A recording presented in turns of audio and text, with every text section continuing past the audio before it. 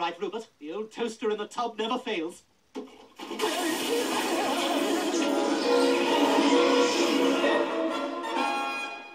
damn, I wanted to die, not turn into Toaster Man. I don't know about this toaster man. While he's getting all the glory, John Q. Taxpayer is left to clean up the crumbs. My breakfast bread just got perfectly browned. I just wish I could thank him. Oh, I think he knows, Pop.